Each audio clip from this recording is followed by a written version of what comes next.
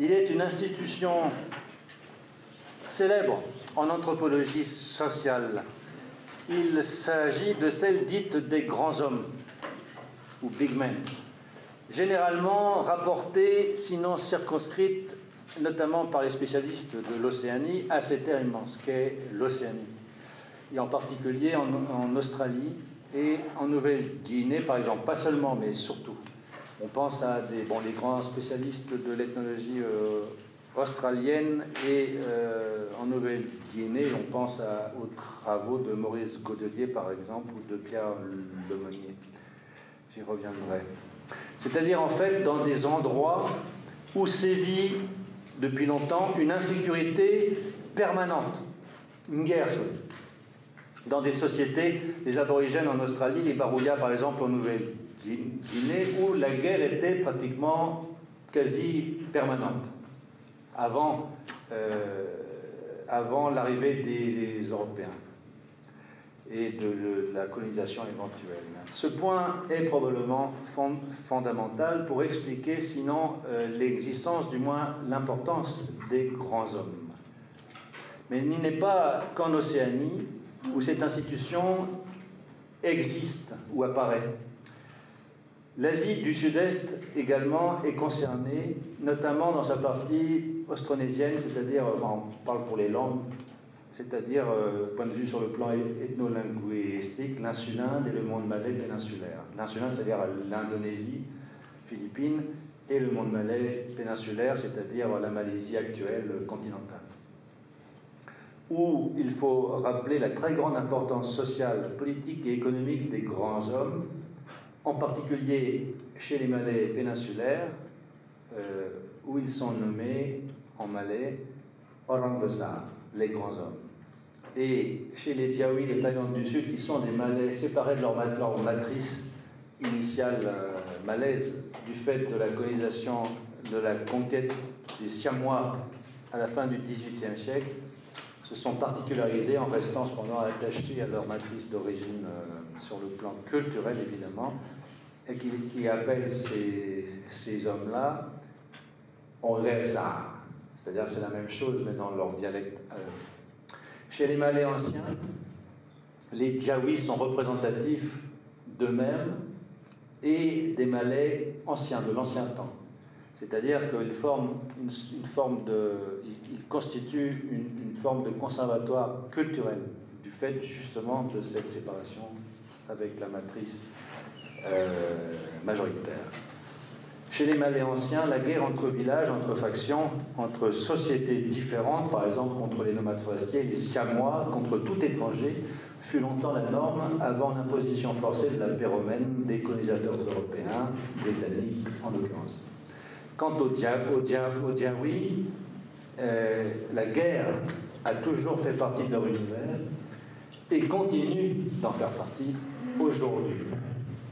Les Diaoui forment une population musulmane d'environ 3 millions de personnes localisées dans la partie thaïlandaise de la péninsule malaise sur la côte sud-est.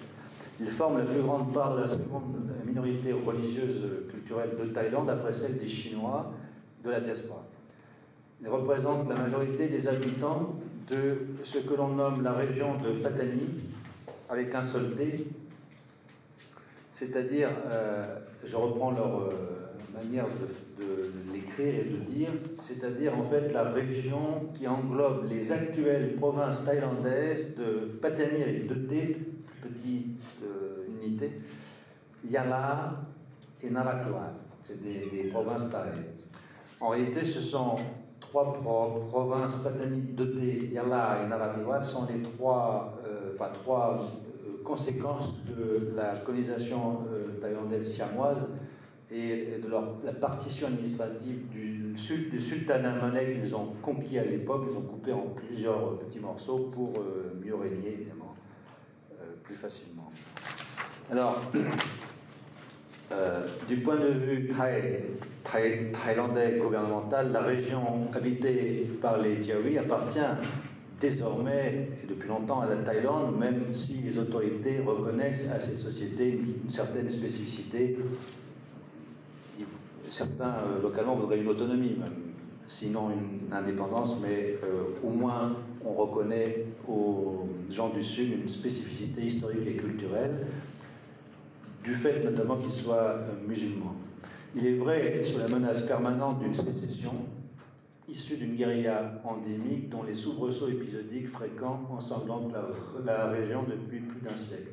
En fait, depuis la conquête du Siam au XVIIIe, euh, avec des soubresauts et des rebondissements de, temps en temps. Notamment, euh, j'ai eu la chance de faire un terrain entre deux périodes chaudes, sur une période relativement calme, avec, il y avait quand même beaucoup de bombes et de meurtres et de difficultés, mais euh, je, suis vivant, voilà, déjà. Et euh, c'est reparti euh, depuis quelques années euh, à nouveau une période difficile. Les Diawi forment ainsi un ensemble culturel cohérent au sein de l'État thaïlandais. C'est un espace social de taille médiane qui est caractérisé par sa religion, l'islam sunnite principalement, avec quelques enclaves chiites ça et là. Le Diawi, sa langue, qui est une forme dialectale du malais, représentative de la langue ancienne du 19e siècle, et sa culture matérielle traditionnelle très proche de celle ayant existé en Malaisie autrefois au regard de l'origine culturelle de sa population majoritaire en Malaisie, mais qui a évolué beaucoup plus rapidement puisqu'elle s'est modernisée. Et euh, aujourd'hui, euh, il n'y a plus beaucoup de Malais de Malaisie qui, ils sont devenus un peu comme nous, des gens des villes, en, costume cravate et en, en, voiture climatisée, ils perdent un peu tout, lien direct avec leur histoire et leur culture matérielle d'origine, que les Djaouis sont encore un peu dans, dans, dans, l'entre-deux. Alors la guérilla est endémique à Patani, mais n'offre pas un front unifié, expression d'une rébellion afin de recouvrer une indépendance perdue et au moins d'obtenir une relative euh, autonomie. Elle ravage la région donc depuis la fin du XVIIIe et plus particulièrement depuis la signature du traité anglo-siamois de 1909 qui a fixé, qui a entériné l'annexion définitive a priori du sultanat malais de Patani dans le royaume bouddhique, euh, bouddhisme Theravada. Le bouddhisme n'est pas une religion d'État, mais une religion dominante, puisque, euh, pour vous expliquer, dans la langue thaï et le, le quand on dit le mot Thaï signifie bouddhiste. Voilà. Donc euh, un Thaï islam, c'est un bouddhiste musulman, ça va pas, pour eux, ça va pas, c'est pas facile. Cette guérilla est entretenue par les groupuscules armés ayant pris le maquis, issus de nombreuses mouvances qui combattent les autorités, effraient les populations civiles, notamment les Thaïs et les Sino-Thaïs, et, se combattent entre elles. Alors, les factions les plus anciennes, indépendantistes, autonomistes et loyalistes aux anciens princes locaux, sont venues s'ajouter au fil des ans d'autres tendances engendrant autant de groupes combattants, des, groupes, des groupuscules qui se battent entre eux toujours. Alors, dans les années 50, il y a eu d'abord les guerrieros communistes cantonnés à la province de Yala, euh, dont la population d'un des districts à la frontière avec la Malaisie était et reste encore majoritairement chinoise. Et euh, euh, d'ailleurs, ils m'ont attrapé. J'ai été enlevé que euh, en 88, je ne m'en suis pas vanté, parce que sinon ils m'auraient interdit le visa, j'aurais dû rentrer, donc pas, je me suis sorti. Enfin, ils m'ont libéré. Et sinon, j'aurais été otage. Voilà. Ils m'ont gardé 4 heures parce qu'ils en avaient. C'est comme vous, ils en avaient marre. Je leur ai expliqué les choses. leurs combattants étaient donc surtout d'origine chinoise, avec des tensions interethniques et des combats entre factions, notamment Diaoui musulmans contre Sinotai communistes. Alors, ces communistes sont rendus, ça se sont rendus avec le pardon des autorités, politique intelligente de la part du gouvernement, à l'automne 89. Et parmi eux se trouvaient deux officiers japonais de la Seconde Guerre mondiale qui avaient refusé de déposer des armes en 1945 et qui entraînaient les guerrillos les, les, leur enseignant notamment à manier les, explosifs sans se faire péter la, figure, et émergèrent aussi à la même, dans les années 60, les premiers mouvements indépendantistes, dont le PULO, c'est-à-dire le Patani United Liberation Organization, encouragé par le monde arabo-musulman, euh, l'Arabie saoudite, les pays euh, du Golfe, etc. Encouragé euh, financièrement aussi. Enfin, plus récemment, depuis le début des années 90, la région de Patani a, reçu l'influence d'un courant islamique euh, fondamentaliste très dur, qui, vient au départ de l'Inde, pas du Pakistan, de l'Inde, puis du Pakistan aussi, et puis du Proche-Orient. et qui transforme la, région de plus en plus et qui l'arabise beaucoup et qui de toute façon fait perdre à la population sa spécificité, sa jaouinité si j'ose dire. C'est aussi des courants exogènes et qui est les agricultures.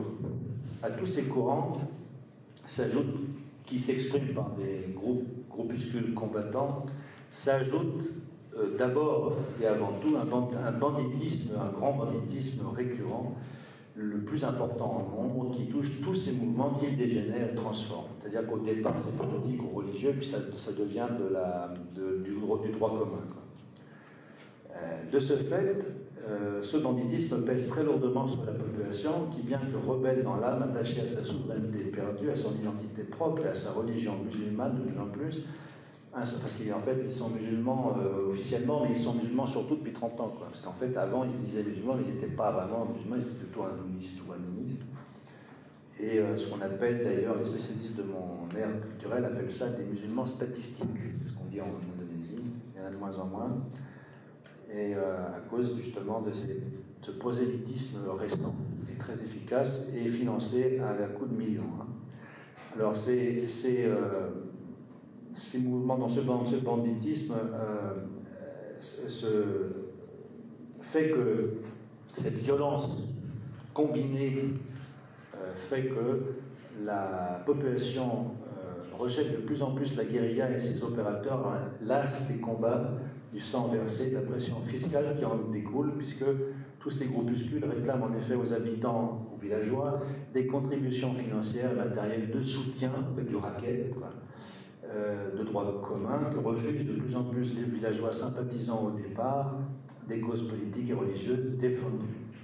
Alors, j'ai eu euh, l'occasion en une décennie de voir euh, beaucoup de ces contraintes. Ceux qui ne payent pas se font couper la tête, par exemple dans mon village, il y a eu beaucoup de, morts comme ça, où ils, sont, leur maison explose. Donc après, on paye évidemment. L'islam est sans doute présent à Patani depuis le début du XIVe siècle. C'est un des points les plus anciennement euh, islamisés de l'Asie du, Sud-Est, en même temps que Malacca, et même peut-être avant Malacca, qui est soi-disant le premier euh, coin en Malaisie, le premier coin, le premier, euh, la première région islamisée. En tout cas, euh, au départ, concernait, l'islam ne concernait que quelques princes de la bande littorale et, pas du tout le peuple à proprement parler. La religion a été euh, répandue dans le royaume, dans le sultanat et dans les terres de l'intérieur euh, au sein de la majorité rurale et roturière seulement depuis 40 ans à peine, 30-40 ans. Dans les campagnes, les pratiques rituelles des Ninjaouis sont autant musulmanes qu'animistes et montrent toujours une forte influence hindoue vraisemblablement sur la base d'un corpus proto-indo-chinois, c'est-à-dire euh, non chinois, non indien, mais local, si vous voulez, euh, autochtone, donc c'est-à-dire un fond culturel animiste indianisé avec d'autres interférences, notamment musulmanes, mais pas que chinoises aussi, euh, occidentales aussi, puisque les Portugais sont attestés à Patani au XVIIe siècle. Le pays est marqué par l'existence d'un grand nombre de, de réseaux qui s'étendent aujourd'hui jusqu'à la Mecque il faut souligner, et c'est extrêmement important, que l'organisation sociale locale est caractérisée, comme partout ailleurs en Asie du Sud-Est, traditionnellement par la prééminence de la seniorité sociale et l'importance de la dichotomie, c'est-à-dire de l'opposition aîné-cadet, et la structure politique est donc pyramidale et verticale de type féodal, où, comme le rappelle Alain dans Avant l'histoire, alors c'est page 43, je cite, ce que l'on connaît depuis la Rome ancienne sous le terme de népotisme, népos neveu utérien, terme réciproque avunculus, oncle maternel. La quasi-totalité de ces chefs de village et de leurs affidés au pays relèvent de la catégorie des Orelsar, des grands hommes, ou de celles assez mystérieuses et difficiles à définir des Oregayo.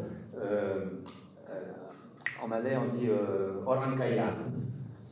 catégories qui peuvent éventuellement, mais pas systématiquement, se confondre. C'est-à-dire qu'on peut être orang kayo et en même temps Orelsar. Mais on peut être Orelsar d'une part ou orang pardon. Orang. Euh, les Malais euh, prononcent plus, plus sucré. Orang, orang, nous c'est Ore, enfin eux, Il faut mentionner tout particulièrement à ce sujet les très mystérieux Donkoram Kaya de Malaisie, qui sont une sorte de mercenaires, de janissaires, de notables, riches. Ça signifie tout ceci, aristocrates, affidés, affidés des princes, des chefs, sicaires, précarés du prince, sorte de chevaliers ou de compagnons de la table ronde, très proches du pouvoir royal, garde noire du chef, en tous les cas, tel que relevé par l'historien Denis Lombard dans le monde insulindien ancien, euh, le carrefour javanais de HSS 1990, que j'ai retrouvé chez les Jaouis actuels nommés Oirayo. Lombard, citant le journal du français Augustin de Beaulieu. Alors, c'est dans son, sa thèse de troisième cycle, le sultanat d'Aceh au temps d'Iskandar Mouda, 1607-1636, Paris, École française d'Extrême-Orient, 287 pages, et c'est de 1967. Alors la citation, c'est page, euh, page 50. Euh, Je cite donc Lombard, qui cite le journal du français Augustin de Beaulieu, qui remonte au XVIIe. Toutes nos sources sont d'accord pour l'admettre. Au sommet de l'échelle sociale se trouvait une catégorie, donc euh, Aceh, le sultanat d'Aceh, c'est à Sumatra, actuel Nord Sumatra, euh, et euh, la, région de Sumatra, Aceh, fait partie de l'ethnogénèse des Djawi, mais je n'ai pas le temps de développer ici. Euh, donc toutes nos sources sont d'accord pour l'admettre au sommet de l'échelle sociale se trouvait une catégorie de privilégiés, les Orankaya. Les Européens traduisent gentilshommes euh, d'après Franck Martin. Nobleman, d'après Ellis, le terme malais kaya a le sens actuel de riche, mais comme l'a signalé Damé, qui est un spécialiste du monde musulman, il n'est pas sûr que ce soit là un sens très ancien. La racine étant la même que celle de daya et de raya en malais. Il est à penser que le sens original devait être plutôt noble, puissant. Il faut bien souligner toutefois que cette puissance économique matérielle se double d'un prestige dont on ne saurait négliger l'importance. Tout autant que dans leur richesse, peut-être même davantage, la force des Orankaya réside dans ce prestige dont ils jouissent aux yeux du reste de la population. On a vu que dans leur mise, comme dans leur alimentation, ils aimaient à se distinguer. En ce début du XVIIe siècle, les Orankaya forment une classe bien homogène et solidaire ils ont su se forger une tradition et n'ont pas oublié qu'en 1589, c'était eux-mêmes qui avaient offert le trône au vieux Alahuddin Riyashah. Leur nombre exact n'est pas connu, mais on peut raisonnablement l'évaluer à quelques dizaines. Il faut d'ailleurs ne pas perdre de vue qu'à l'époque qui nous occupe, leur groupe n'a rien de comparable à une caste dont les avantages ne pourraient se transmettre que par hérédité. C'est-à-dire que les, les les hommes riches de cette époque, sont des sortes de mercenaires euh, souvent venus d'Europe, portugais, euh, français, même, comme en Inde d'ailleurs, euh, britanniques, des, des, aventuriers, des, chasseurs de fortune, qui peuvent être des militaires démobilisés ou qui cherchent fortune, d'ailleurs on appelle ça des soldats de fortune, et qui sont acceptés par leur technicité. On parlait des experts dans la, la, séance précédente, ce sont des sortes d'experts militaires cette fois, et euh, leur euh, puissance, leur forme d'aristocratie, puisqu'ils ont un rôle important près des chefs locaux, des rois locaux, des sultans, n'est pas transmissible euh, héréditairement. C'est ça le plus important à retenir. Chez les Djaouis, cette Oregaios qui correspond à Rankaya, peut être à la fois riche et noble. Alors ça, c'est maintenant, dans les années 80, 90, 2000, 2010. Mais dans tous les cas, il est puissant. Il existe plusieurs termes chez les Djaouis pour marquer la filiation avec la royauté ou l'aristocratie, c'est-à-dire véritablement le sultan, le dernier, les dernières familles régnantes du sultanat et leurs euh, vassaux, parce que c'est féodal, donc il y a des, comme les ducs, les marquis, etc., les comtes. Et euh, si Orecaio appartient à ces, relève de ces termes qui marquent l'affiliation avec la royauté, l'expression souligne d'abord une puissance personnelle, faite de richesse bien sûr, mais surtout de statut social mêlé de charisme, donc de seniorité, la seniorité sociale dont je parlais. Pas tant héréditaire qu'acquise, et se confondant souvent avec celle plus factuelle des Oresa, des grands hommes, qui était jadis, alors ça c'est mon hypothèse, euh, au terme de 15 ans de vie intime avec qui étaient jadis très probablement les hommes de confiance des Orelayo, moins nombreux, eux-mêmes espies, ramdanés et gardes prétoriens des anciens Rajas. En fait, c'est, c'est les sous-officiers, quoi.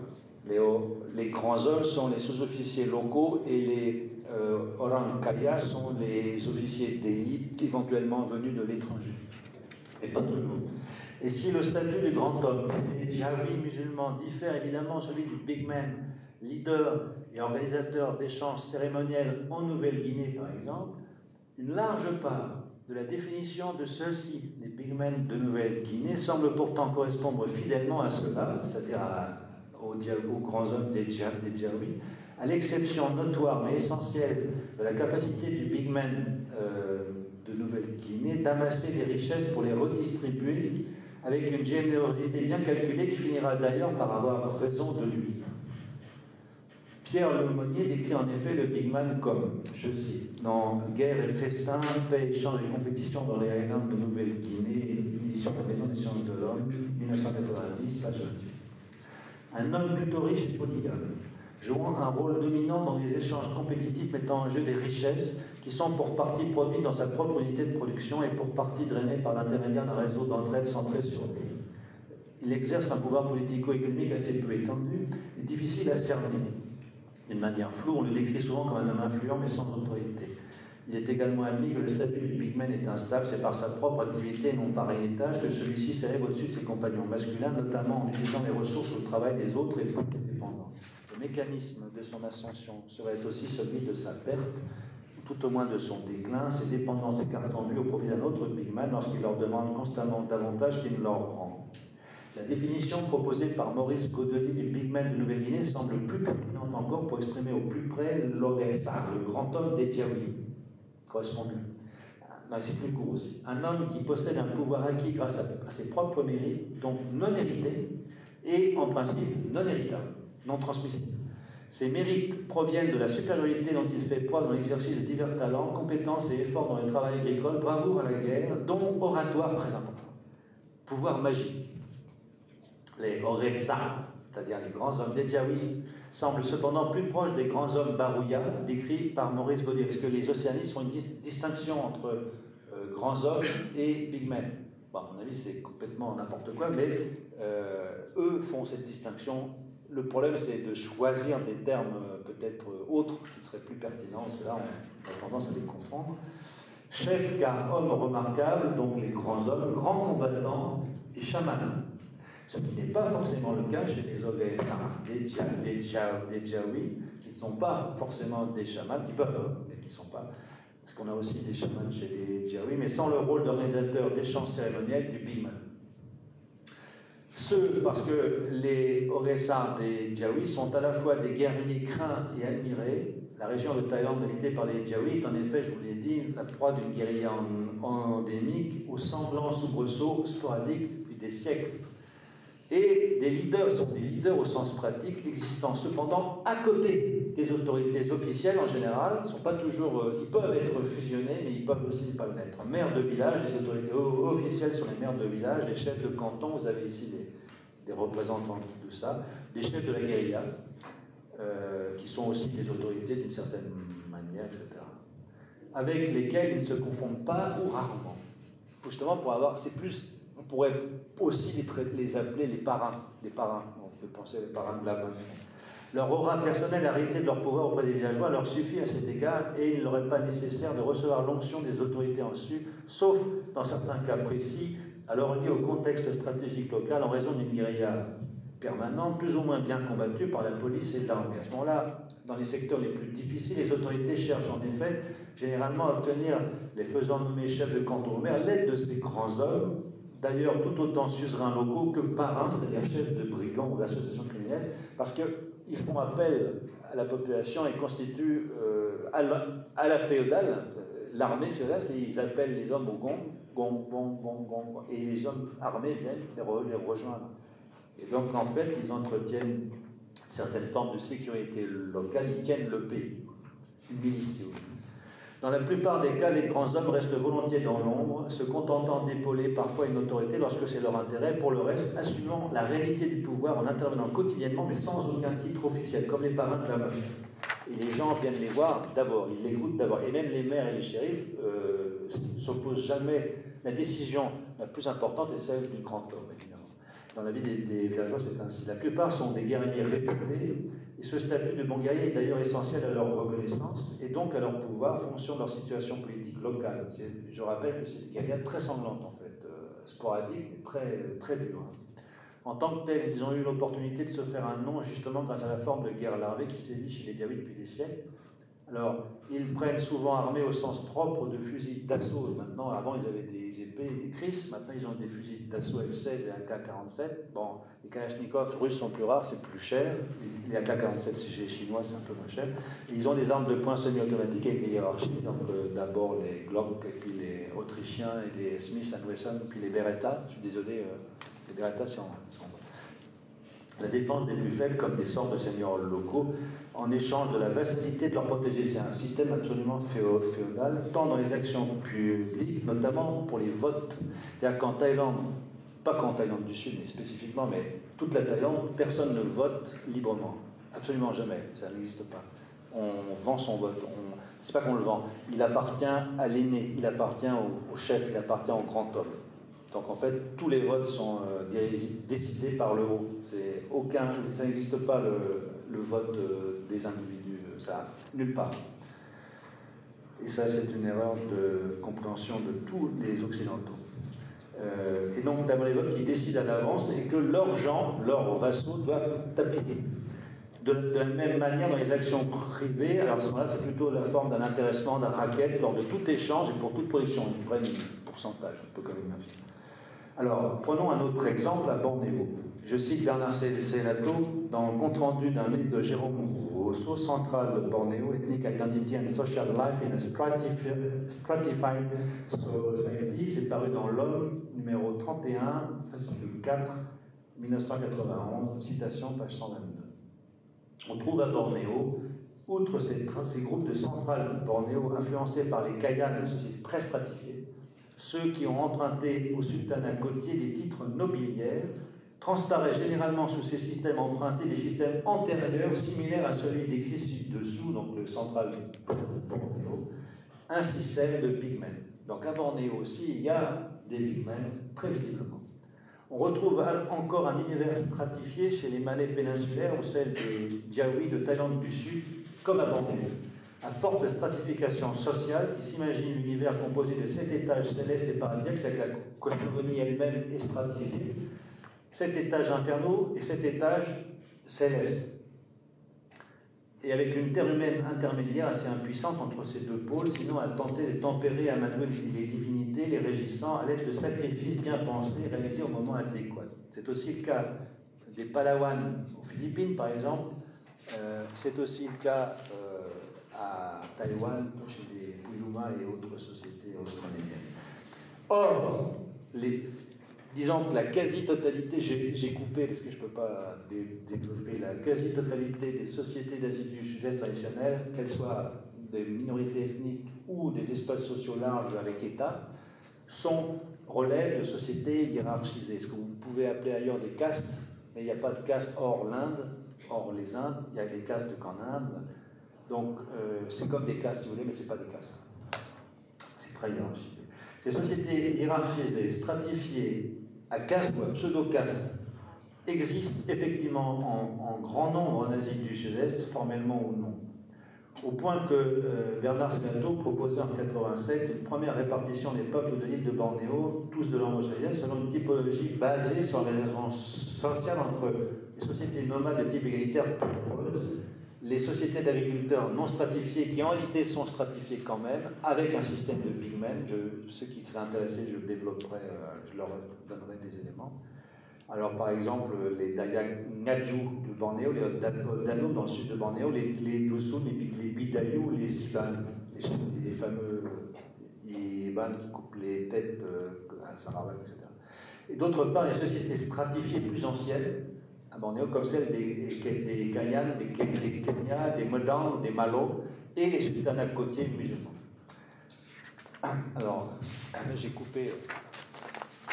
Revenons euh, à, ce que dit Bernard Selato dans la même note. Revenons au problème de l'inégalité. La stratification des groupes cayaniques très hiérarchisés légitimée par une idéologie d'inégalité naturelle qui en fait un système de type féodal. Les big men des groupes voisins ont tenté avec un succès variable de surimposer à leur profit la stratification en système traditionnel compétitif, mais non formellement inégalitaire. Si certains cas, Kenya ou dans une moindre mesure Kelabi, permettent de parler de variantes du modèle Kayan emprunté, beaucoup incitent plutôt à parler de sociétés hiérarchisées. Parmi ces dernières, je placerai, euh, Bernard Selato, aussi les groupes IBAN, dans les systèmes sociaux pourtant hautement compétitifs, mais non, non hiérarchisés normalement, dénient l'idéologie égalitaire quand même. Le contraste trop souvent souligné abordé entre groupes stratifiés et groupes dits égalitaires n'est pas pertinent. Les seules sociétés vraiment égalitaires sont celles des nomades, sont peu nombreuses. En réalité, à travers le système des pygmènes, transparaît la stratification qu'on retrouve sur le plan linguistique et également comme un palier avec des niveaux de langue. la société balinaise est stratifiée également avec des castes. Dans l'ère indo-chinoise, continentale ou insulaire, toute hiérarchie sociale ou existence de niveau linguistique sont à est à considérer en relation étroite à la structure politique la plus commune à l'ensemble de l'Asie du Sud-Est et de l'Extrême-Orient, la plus répandue, explicitement ou non, qui est, pour schématiser en forme de pyramide, du sommet vers la base, du roi détenteur d'un mandat du ciel vers les sujets de ce roi. Il s'agit le plus généralement d'un type de société à état despotique que l'on retrouve très fréquemment dans l'histoire de l'Asie du Sud-Est et en Extrême-Orient. D'après Alain Testard, dans euh, les. C'est quoi son. Euh, la servitude volontaire, tome 2, L'origine de l'État, Paris Errance 2004, c'est une citation, page 81 98, 100. Euh, D'après Alain Testa, les États de cette région du monde sont omniprésents au long l'histoire. La plus ancienne, et pour ce qui concerne notre propos, je me aussi en Afrique noire, euh, on retrouve les religions sacrificielles, la hiérarchie sociale, les institutions du prix de la fiancée, l'esclavage pour dette, et euh, ce qui n'est pas le cas en Amérique euh, amérindienne ou en, Océanie. Et euh, les sociétés traditionnelles n'accordent pas une aussi grande importance au sacrifice, à la stratification dans, ces aires, que sont l'Océanie ou l'Amérique amérindienne. Et cette, cette caractéristique de l'Asie du Sud-Est et de l'Extrême-Orient s'exprime par, par, justement à, travers le système des limites par un pouvoir personnel euh, non, non dynastique et non transmis, non héréditaire au départ fort. Or, pour Alain Testard, ce pouvoir personnel fort est à l'origine du gouvernement despotique et donc est à l'origine par la servilité montrée, la loyauté montrée par des fidèles à un individu charismatique, donc à un chef, fidèle prêt à tout pour lui plaire, même à mourir pour lui, à l'accompagner dans, la, dans la mort. C'est cela qui serait à l'origine de l'État tout au moins de l'état despotique. Alors toujours, j'ai presque terminé, toujours selon Testa, ces fidélités personnelles seraient non seulement susceptibles de faire passer directement d'un semi-État à une forme d'État despotique, mais les semi-États démocratiques, qui sont en fait euh, mis en danger par les fidélités personnelles, ne seraient sans doute, d'après Testa, moi j'ai tendance à dire, que des réactions face au despotisme, sachant qu'on ne voit pas d'État démocratique dans les données ethnographiques. Au départ dans les sociétés lignagères, tribales, non étatiques, on ne trouve en général pas d'État démocratique, c'est absolument euh, euh, ceci dit, ça signifie aussi dans les sociétés traditionnelles qui ont pu être observées, quand même euh, la limite de l'observation. Je termine sur une note extrêmement intéressante de l'historien français, mon collègue Nguyen Dehan, un vietnamien, qui, alors il a écrit un article que je vous recommande, qui est très, très important. La conception de la monarchie divine dans le Vietnam traditionnel, c'est paru au bulletin de l'école française d'Extrême-Orient numéro 84, la citation en 97, la citation est page 147. Alors ça c'est pour le Vietnam pour la société vietnamienne. Manifestement, du fait de la nature non structurée des activités politiques dans ces sociétés, seule la reconnaissance des qualités héroïques d'un individu permet au départ d'inspirer les loyautés susceptibles de contribuer à la formation de groupes et d'acquérir l'influence politique que ces derniers procurent. Ces capacités individuelles exceptionnelles, qui dénotent les fortes qualités personnelles d'un chef, confère aux dirigeants une aura indiquant qu'il dispose de vertus réputées providentielles et signalant par là son affinité avec les puissances surnaturelles. On retrouve là le, chaman, on retrouve là les pouvoirs magiques des pygmènes océaniens ou euh, malais. Mais une fois qu'un individu puissant a réussi à conquérir le trône et établir sa dynastie, le problème de la succession royale se pose. Il est alors nécessaire pour lui de souligner ses liens privilégiés avec le surnaturel par un rituel qui doit perpétuer ses qualités héroïques spéciales. C'est ce qui permet de transformer un usurpateur ou un roturier, si vous un aventurier, euh, un chef, un petit chef local, un pygmène local qui devient un roi, euh, il a besoin du mandat du ciel, du mandat divin. Il le fait avec euh, des qualités spéciales et, comment marquées par le rite, transcendées par le, par il trouve dans la conception hindouiste de la royauté, et on parle du Vietnam, un cadre institutionnel et une nouvelle légitimation au développement de son pouvoir politique dans la pensée hindouiste, la royauté a toujours été tenue pour une institution divine et les rois ont toujours été considérés comme participants de l'autorité de Shiva, par conséquent de l'autorité du Dieu qui est aussi le gourou de l'univers.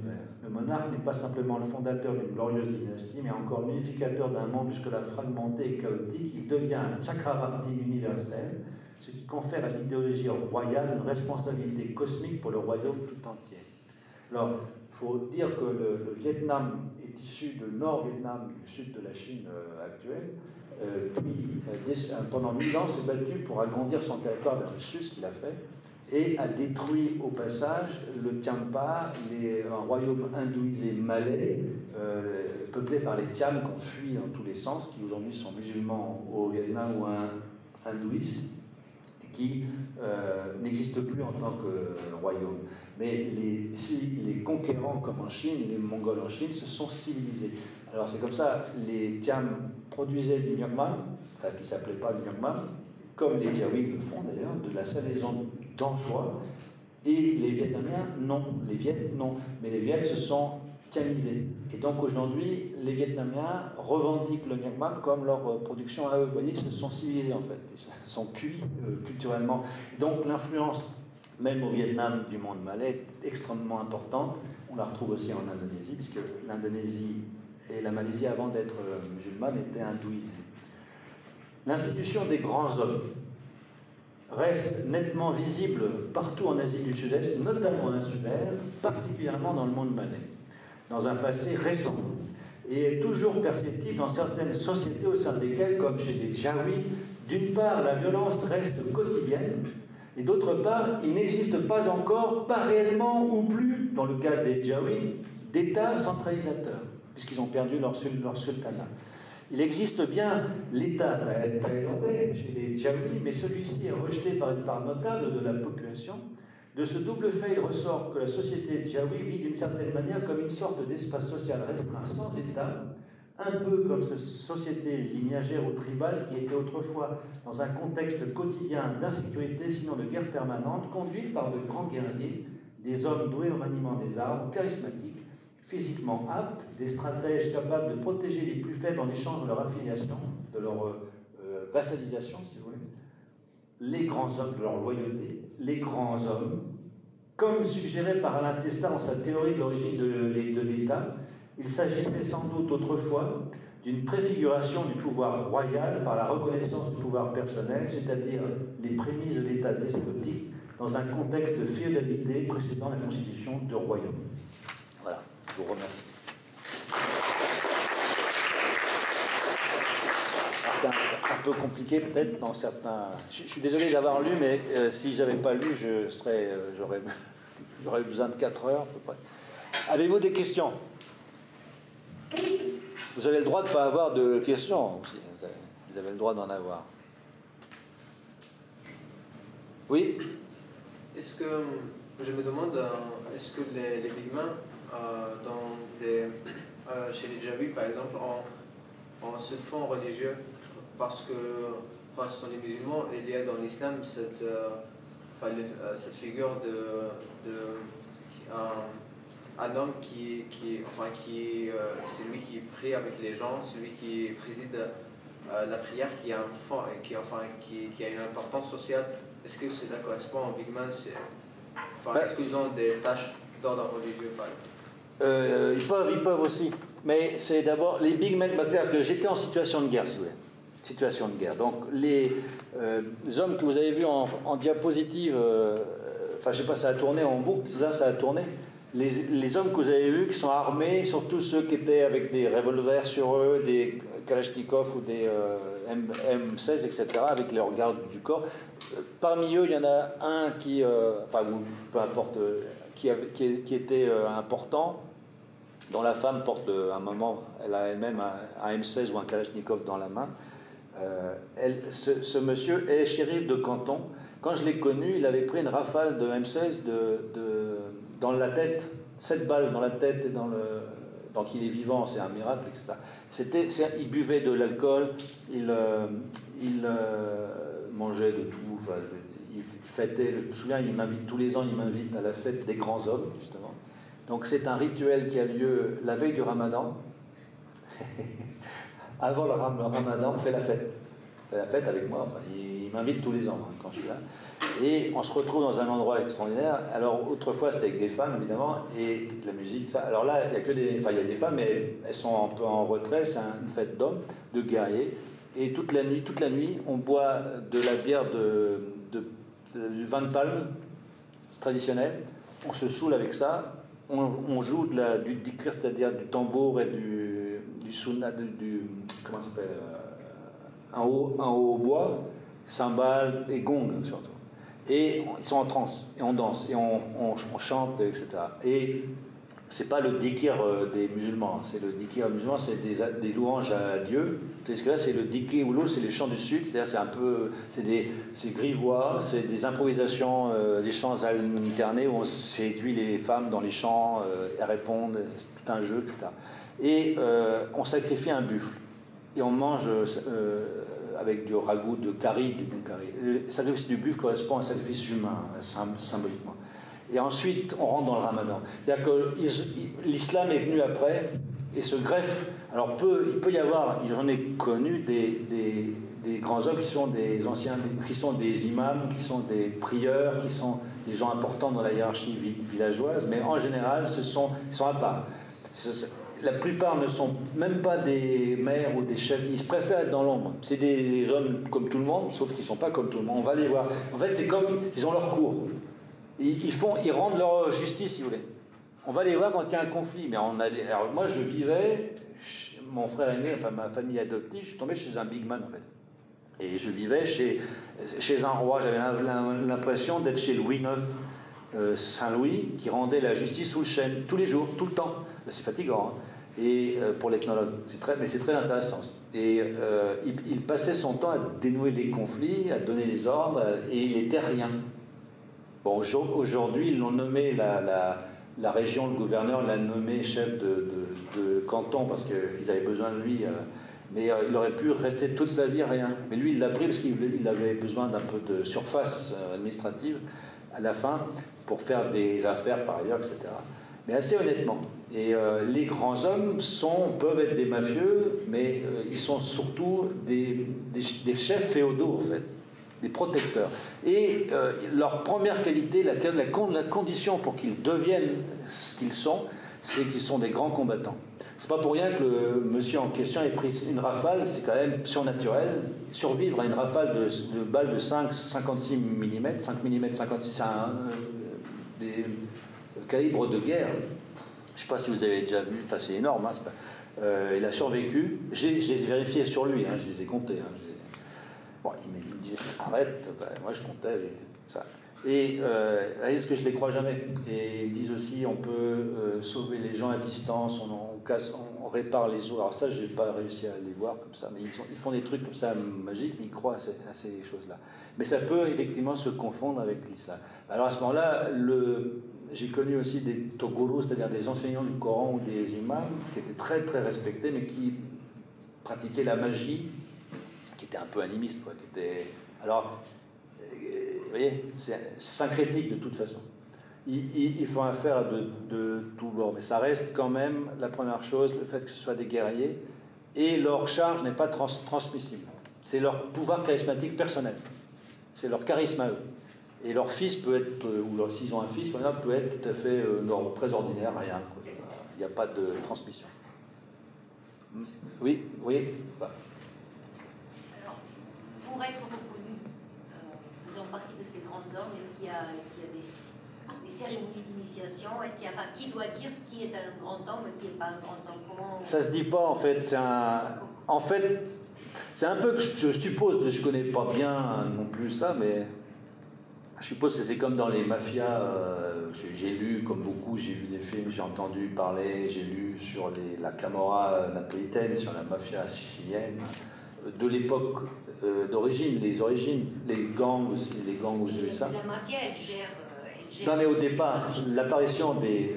En Sicile, par exemple, il y a eu un film avec Jean, Christophe Lambert qui représentait la figure d'un chef sicilien, d'un mafia, d'un chef mafieux sicilien au 19e, un peu comme, comme Mandrin ou Cartouche en, France, si vous voulez. Et au départ, c'est une sorte de héros, comme Fanfan la Tulipe, c'est un, comme Lagardère, c'est quelqu'un qui protège la veuve et l'orphelin, comme Robin des Bois, et euh, qui se révolte contre une injustice qui rend service. Euh, par exemple, mon frère aîné, euh, il voyait quelqu'un, il voit quelqu'un depuis toujours dans la peine, un vieux qui, qui, rien à manger, quelqu'un qui, qui, a froid ou qui a trop chaud, enfin, qui est malade, il s'en, occupe. Et donc, il fait ça tout le temps. Donc après, dès qu'il y a un, problème, les gens viennent le voir. Et comme il n'a pas peur, il va euh, confronter euh, avec une arme. S'il faut défendre, il, va, il va tuer, il, tue aussi hein, certains, enfin tous en fait. quand il faut, il tue. Donc euh, ils y vont avec leurs armes. Le, chef de village que je vous ai dit, qui, était, euh, qui a pris une rafale de cette euh, quand je l'ai connu, il avait 24 gardes du corps armés en permanence. 12 le, qui se relayaient. 12 qui se relayaient. 6 dehors, 6 dedans. En permanence. Et pendant 10 ans. Et il faut. Ça a beaucoup à faire avec le mégalithisme, en fait. Ça a beaucoup à voir. Euh, quand on pense les mégalithes, c'est probablement des expressions despotiques, n'est-ce pas? C'est le pouvoir de quelqu'un capable de rassembler énormément de gens et de les faire qu'ils vont lever la pierre pour lui, en son honneur. Enfin, il est capable de, de mobiliser une troupe très nombreuse et de lever des trucs qui servent à, rien pour dire j'existe. Un peu comme ces adolescents avec leur mobilette, j'existe. Et euh, le, mégalithisme, en fait, c'est euh, le, big, le, man, d'une certaine manière, c'est une forme de mégalithisme, euh, immatériel. C'est une. une euh, ils émergent de leur capacité, leur prouesse guerrière. Ça rappelle un peu les chevaliers de, de l'époque de la. Comment, l'épopée de Arthur et les chevaliers de la table. on devient chevalier parce qu'on est preux parce qu'on est courageux, voyez? Et qu'on est reconnu par ses pairs, mais par la population en premier lieu. Voilà. Et ensuite vient, ou pas d'ailleurs, la reconnaissance politique et la richesse, puisqu'elle est associée. Les gens euh, vous élisent un peu comme votre chef local, surtout si le maire, j'en ai connu, des maires officiels qui avaient peur, qui n'avaient pas de pouvoir, des pauvres, ils n'osaient pas se rebeller, ils n'osaient pas euh, dire non à un, autre big man qui attaque parce qu'il y a des combats, etc. Je vous rappelle que j'ai dit, il y a des groupuscules qui se battent en permanence. Donc c'est un capharnaüm, euh, c'est euh, très difficile, c'est un puzzle, c'est un, combat permanent, c'est un jeu de stratège très compliqué tous les jours pour eux. Et il faut vraiment être fort dans la tête et capable de se battre. Capable de se battre. Alors, vous avez vu dans les diapositives, il y a un, moment, il y a deux hommes qui se battent une sorte de karaté. Je ne sais pas si vous avez un souvenir. Et ce sont euh, la forme du dika, c'est le pensat de, de, Malaisie. C'est une forme de kung-fu, si vous voulez, euh, d'art guerrier. Normalement, ils se battent avec des, épées, des kriss en même, temps. Eh bien, tous les grands hommes se battent de cette manière. C'est-à-dire qu'ils savent se battre physiquement, euh, ils sont très efficaces. Ils savent, ils ont des armes, ils ont tous, tous, les villageois, absolument tous les villageois, tous, absolument tous les hommes euh, sont, armés en permanence. Ils ont tous un revolver sous la chemise au minimum. Tous. Et euh, les plus forts d'entre eux s'en servent. Voilà, c'est ça en fait. Et après vient, le, pouvoir, la richesse, évidemment, puisqu'ils ont leur suite, ils ont leurs leur vassaux, ils ont leur garde. Ces grands hommes se baladent toujours avec une troupe autour d'eux, de leur, garde, quoi, leur, leur cour, en fait. C'est incroyable. Et, et ils sont dans leur territoire, c'est vraiment des petits rois féodaux. Mais, euh, et puis entre eux-mêmes, il y a des hiérarchies, il y a des territoires, c'est très féodal en fait. Voilà. Je ne sais pas si j'ai répondu, mais. Monsieur? Oui. Oui, euh, bonjour, euh, Louis euh, étudiant en anthropologie. je voulais juste continuer sur la question d'Ayoub de tout à l'heure et vous demander si il y avait une, enfin, si les rites musulmans, les cérémonies musulmanes était aussi pratiqué parce que vous, parliez de, du sacrifice du buffle avant le, ramadan. Et je voulais savoir si justement, euh, du coup, il y avait aussi des sacrifices de moutons, de l'Aïd euh, aussi. Et notamment de la petite Aïd qui, enfin, dans, certains cas est pratiquée euh, avant le ramadan et aussi après le, le ramadan. ça, c'est ma première question. Et puis après, j'en aurai une petite autre oui, oui, euh, de toute façon, les sacrifices, il y en a beaucoup, à toute occasion. Alors, ils ont ajouté aux sacrifices antérieurs, euh, hindouistes, animistes, si vous voulez, euh, sociaux, ils ont ajouté évidemment les sacrifices musulmans. Donc, effectivement, le grand sacrifice maintenant, c'est Hari Raya, c'est-à-dire l'équivalent de l'Aïr, c'est à la fin du ramadan. Il y a le premier Hari Rayo qui dure trois jours et trois nuits, on fait la fête là. Et il y a le petit ramadan après, le petit Hari Rayo, c'est quand les femmes parce qu'elles ont leurs règles. Donc euh, trois jours après, euh, il y a le ramadan pour elles, enfin, la fête de fin de ramadan pour elles. Et puis il y a les mariages, il y a les rites funéraires, les cérémonies funéraires, et là il y a des grands raouts, et puis il y a les cérémonies simplement de prestige. Donc tout ça se combine et se mélange. Donc je publierai, parce que j'ai beaucoup de données sur ça, mais c'est très compliqué. Je suis en train d'écrire, donc je, vais répondre par écrit bientôt à ces, C'est quelque chose qui est assez peu connu en fait. Euh, il y a mais qu'on retrouve dans toute l'Asie du Sud-Est, absolument partout, qu'il faut absolument, euh, il faut rendre de manière structurale. Structurale. Je, vais le faire. Enfin, mal sûrement, enfin, c'est pas grave non plus. je, puis vous prendrez la suite. Voilà. Parce que le maître doit être dépassé par ses élèves, monsieur Dussault. Monsieur. Et justement, pour le, pour le côté prestige, est-ce qu'il y a des sortes de bouclages, des choses comme ça? Ils se mettent en, valeur et comment ça se passe Quand vous dites potelage, vous voulez dire euh, cérémonie où on crame tout Oui, c'est pour montrer leur, puissance En fait, oui, parce que quand j'ai rédigé ces lignes, euh, il n'y a, a, pas longtemps d'ailleurs, mais j'avais rédigé ça, euh, j'avais lu énormément, j'avais essayé d'analyser tout ce que j'avais vu moi dans mes notes et dans mes observations directes, et j'ai dit de bonne foi que effectivement, je vous l'ai lu, quand je, l'ai repris euh, hier, enfin quand j'ai relu ça ce matin, je me suis dit, euh, c'est pas si simple, j'avais pas le temps de développer, mais en fait, plus, plus j'y pense, plus je me dis que non, je me suis trompé là. C'était, en fait, c'est, plus subtil. Effectivement, il y a une sorte de, pas, de potlatch, mais il y a ces big men aussi chez les Djaouis finalement crament tout. Alors je donne pour preuve mon frère aîné, donc le Borohen, qui, euh, chef charismatique, qui, euh, euh, comme ça, alors, à une voiture, deux voitures, trois voitures, quatre bonhommes, dix bonhommes, il pourrait très bien lever des menhirs, faire lever des menhirs dans les dix minutes. Il pourrait, euh, d'ailleurs il le fait, il fait venir des tas de gens, etc. Il, est, riche, quoi. Mais c'est éphémère, c'est-à-dire que toute sa fortune, le tout crame, tout part, tout repart, en fait. Il a rien, il est pauvre comme Job, en fait. C'est ça, c'est en permanence. Et c'est le contrôle social c'est euh, ce qui permet que ça perdure, c'est ce qui permet qu'il soit accepté par la société.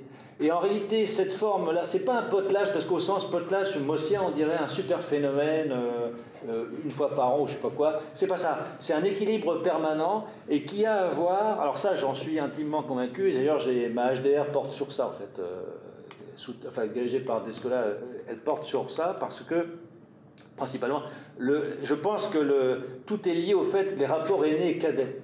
Euh, c'est féodal. L'aîné a le pouvoir sur ses cadets, donc le big man sur ses vassaux, dans la mesure où il prend soin d'eux. C'est-à-dire qu'il prend soin, il paye tout pour eux. Par exemple, il n'est pas question que mon assistant euh, ponctuel, euh, que je remercie, euh, paye les cafés, paye ce soir à manger. C'est moi qui offre, c'est moi qui dois offrir. Sinon, il va me quitter. Il m'o- il m'obéira plus. C'est comme ça que ça fonctionne là-bas. Euh, Là, vous vous calmez, monsieur. Et, donc, le- le rapport fait que ça continue. On a des gens qui nous obéissent, mais en réalité, ils nous ruinent en permanence. Mais ça évite aussi, pour les villageois, que le gars prenne trop de pouvoir. Ça équilibre euh, en permanence. Et c'est quand, euh, justement, il y a un excès de pouvoir par, un- par des stratégies euh, et un peu de, de tricherie aussi de la part du, de celui qui a le pouvoir et qui veut plus, que commence à se constituer une sorte de chefferie, royaume. euh, Il y, a, y y rupture à ce moment-là. Et il est obligé d'être violent à un moment parce que ça fonctionne plus de manière euh, symbiotique, c'est-à-dire har- harmonieuse. Voilà. Mais oui. d'effet d'accumulation de richesse. Ils peuvent pas, ils peuvent pas, ils sont obligés, ils, ils per- ils- ils sont ruinés par, c'est ça en fait. Donc en fait, oui, il y a une forme de potelage pour, eux, mais, mais différente, vous voyez. Il faudrait que j'arrive à la, faudrait que j'arrive à, c'est- éphémère, ça pourrait s'arrêter. donc- ça peut pas s'arrêter, sinon ils ont plus de pouvoir. Et le, le- leur, euh, pour ces gens-là, la relation qui prime tout, tout ce qui compte, c'est le pouvoir sur l'autre, le prestige. En fait, tout est réglé par l'ostentation. En fait. C'est une société ostentatoire structurellement. Et c'est pour ça que euh, c'est pas pour rien. D'ailleurs, alors ça, j'ai pas, la corrélation n'est pas encore vraiment faite, mais j'ai dirigé un, livre avec euh, un collectif récemment qui est paru à Oxford Université Press avec Christian Je- Je- Jeunesse et Bruno Boulestin sur le mégalithisme, passé et présent dans le monde. Et j'ai euh, pu observer, alors mes observations, c'est des intuitions pour l'instant, mais euh, étayées par beaucoup d'indices, mais je n'ai pas des preuves. Je, pense que c'est très lié au monde insulindien et aux Austronésiens. Je pense que partout où il y a des, Austronésiens, dans l'histoire, il y a des, des mégalithes. Pourquoi? Parce que c'est des sociétés hiérarchisées et ostentatoires. Il faut le montrer maintenant parce que c'est pas. Alors on les retrouve euh, à l'île de Pâques, on les retrouve euh, à Madagascar, on les retrouve partout où il y a des mégalithes et en Europe de l'Est, en, Europe de l'Est, pardon, ça c'est en, centra- en, Afrique de, l'Est, il y avait des relations et en, Éth- en Éthiopie on retrouve du, du mégalithisme. Il y avait des relations avec euh, l'Indonésie dès le 3, 3 300 ans avant, 3 siècles avant notre ère attesté. Il y a peut-être même av- avant ça. Et donc en réalité, oui, tout ça est, corrélé. C'est très. Je ne sais pas si j'ai. ouais. Euh, monsieur, oui. Euh, je posais une petite question. euh, je voulais savoir si, si- s'il y avait un lien entre les tractations, enfin, si euh, le- le- le- les big men euh, avaient une importance plus, plus grande dans les tractations matrimoniales euh, dans la communauté de Jawi. Enfin, s'ils avaient une. Bien sûr. Ouais. Euh, le big man, euh, bah, par exemple, le, le big man, quand il se marie sa fille, ou son fils, euh, ben, il se ruine complètement. C'est-à-dire que là où le paysan. Bon, les, les- les mariages euh, de pauvres, c'est 2000, 3000 personnes, et euh, 2, 3, 4, 5 vaches. Ça, c'est les pauvres. Un big man, c'est forcément 15. Il faut il se ruine, mais littéralement, quoi. Il est obligé, sinon il perd la face, il, il est plus chef, quoi. Il, il peut pas. Mais en même temps, ils font fortune parce que justement, ils font appel. Par exemple, ils ont, besoin de sous, ils, font un sacrifice, ils disent on fait un sacrifice, et ils appellent tout le monde. Tout le monde cotise un peu. Alors, on peut, en étant un peu radin, en mettant deux, ou trois vaches, c'est un petit sacrifice, euh, on récolte de l'argent. Alors, il y a un équilibre. Ils repèrent toujours ce qu'ils gagnent, mais à la fin, ils sont, sont riches que, ils sont riches que de l'obéissance de leurs affidés, du peuple, en réalité.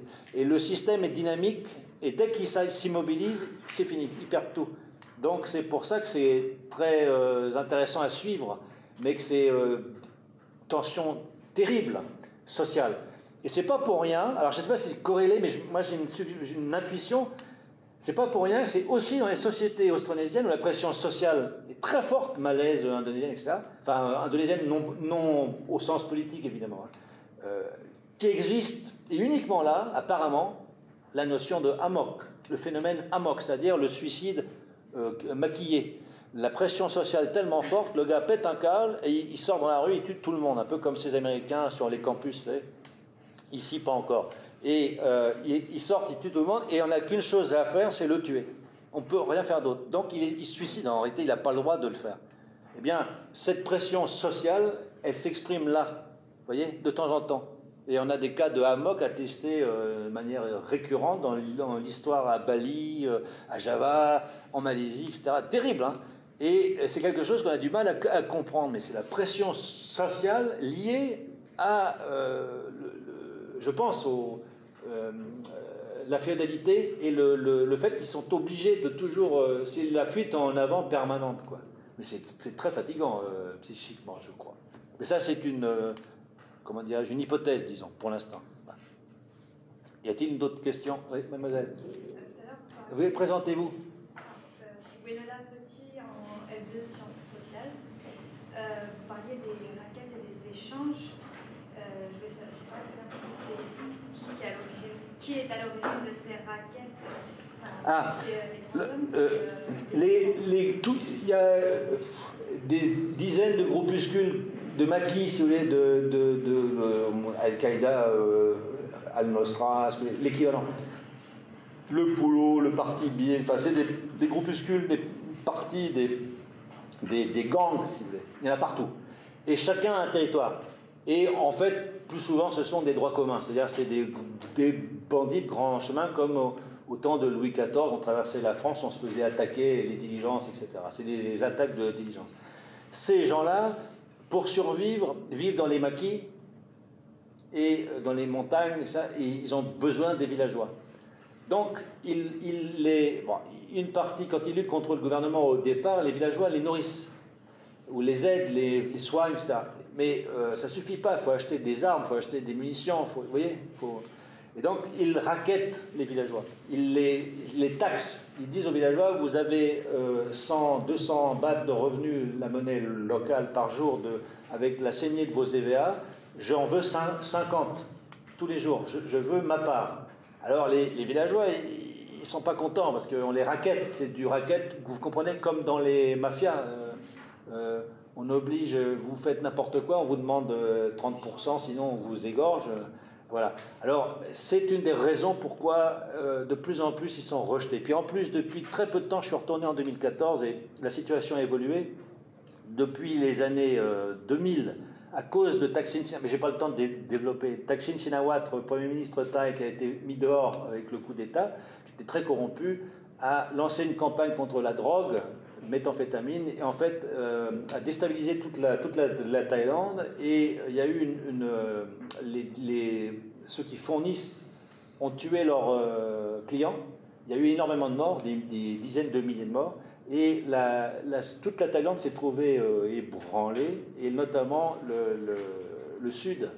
Et ça a été euh, terrible pour les répercussions locales, ce qui fait que ça a changé tous les paramètres. La situation économique, les, besoins financiers des uns et des autres ont changé. Et l'armée s'en est mêlée beaucoup avec des, troupes spéciales, il y a des tanks maintenant.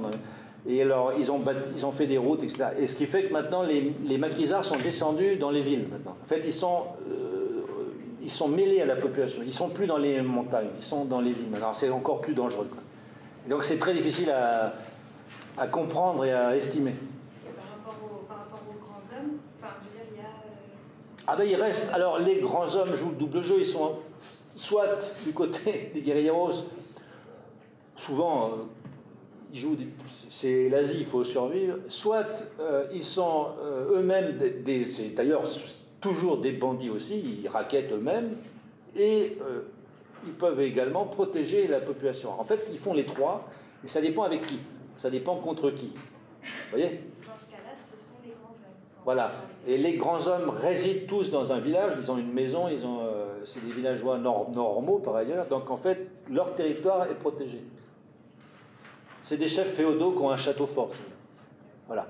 En gros, c'est ça. Et de temps en temps, ils, ils, ils, ils trichent, alors ils, prennent une redevance locale, pas trop lourde, et puis ils peuvent aller taxer les gens l'extérieur de leur territoire, ils se battent contre d'autres grands hommes, ils se battent contre la guérilla, de temps en temps, ils se battent contre le gouvernement pour contenter les guerrieros. De temps en temps, ils se battent contre les guerrieros pour contenter le gouvernement. Vous voyez, ils jouent un peu de tout. Et puis, il y a tous les cas de figure. Donc, c'est pour ça c'est difficile d'en faire une peinture euh, comment dirais-je, résumer à quelques caractères. Une typologie simple, c'est pas simple. C'est pour l'instant, c'est voilà. Mais je ne sais pas si j'ai répondu y a, les deux aspects. Il y a les deux aspects. Voilà, c'est très dynamique. Voilà. D'autres questions Une dernière pour la, pour la route Non, monsieur, je vous en prie. Non, étudiant en M3, technologie. En fait, tout à l'heure, euh, Madame Angelova nous a parlé d'une méthode biographique. Est-ce que vous avez pu suivre tout au long d'une vie un humaine Et moi, ma question, en fait, qui, si je pose cette question, c'est quelles sont les conditions d'émergence du Man Est-ce que c'est une condition sociale euh? Ok. Oui, j'ai suivi beaucoup de biographies. J'ai vécu presque 15 ans avec, enfin, je sais plus trop, enfin, plus de 10 ans, voilà, avec eux. Euh, en plus, ils m'appellent, je vais les voir, euh, on reste euh, proche quand même. La technique, ça c'est bien.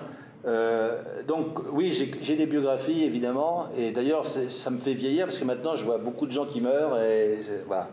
et il y a des, y a des vies. en général, c'est quand même des, des, types un peu aventuriers, guerriers, quand même. C'est au départ des grands guerriers quand même, tous. Vous voyez qui se battent, vous pratiquez la, boxe thaïlandaise, si je ne me trompe, eh bien, sont des gens qui pratiquent ce genre de choses, qui aiment les armes, qui euh, savent s'en euh, servir. Ce pas évidemment des, intellectuels euh, un peu apeurés qui vont devenir des big men. C'est des hommes d'action. Ça, c'est la première chose. La deuxième chose, c'est les critères de, comment pourquoi ça émerge? Eh bien, c'est la guerre. Alors, comme je vous ai dit, ailleurs dans le monde, en Océanie, ce que rappelle Godelier à propos des Barouillas ou des gens de Nouvelle-Guinée en général, c'est ce que me disait Philippe Descola à propos de l'Amazonie et de l'Amérique du Sud euh, tropicale euh, des basses-terres. Euh, c'était la, guerre permanente entre eux, tout le temps, tout le temps. Et les Djaouis ont vécu ça, les Malais, à Bornéo, c'était la guerre en permanence autrefois. Donc les, les big man étaient nécessaires parce que quand vous n'avez pas d'État, c'est la féodalité qui protège les féodaux, les grands féodaux. Comment ils, émergent? Parce que c'est la guerre et que les gens ont peur. Alors ils se réfugient auprès du grand de la cour maternelle, le grand qui protège. Voilà. Mais les, les Djaouis continuent d'être en guerre aujourd'hui. Donc ils ont encore des big men. Je pense que c'est une des conditions les plus importantes, et c'est ce que disent tous les spécialistes. En Australie aussi, les, experts de les sociétés aborigènes, dont Alain Testard a quand même décrypté leur parenté, leur système de parenté qui est très, compliqué, enfin le système de parenté de certains groupes parmi les plus compliqués, en terre d'Arnhem en particulier. Euh, Monsieur Moiseau, que vous connaissez, qui, vient, qui dirige co-dirige avec moi le séminaire, qui vient de temps en temps, qui va venir dans quelques semaines parler justement des aborigènes, des Kimberley, euh, me le confirme. Autrefois, ils étaient toujours en guerre, les aborigènes entre eux, les groupes entre eux, toujours en guerre.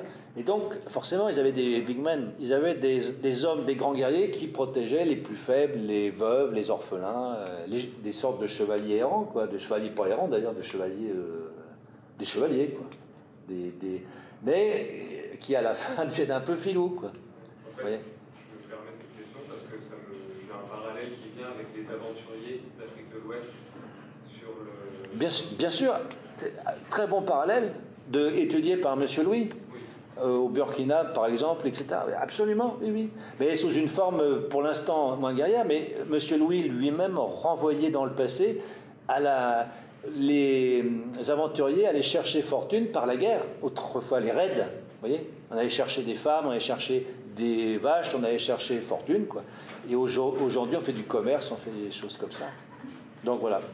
Il me reste, euh, s'il n'y a plus d'autres questions, à vous remercier pour votre patience, surtout. C'est très, euh, très valorisant. Merci donc. Voilà. À la prochaine fois.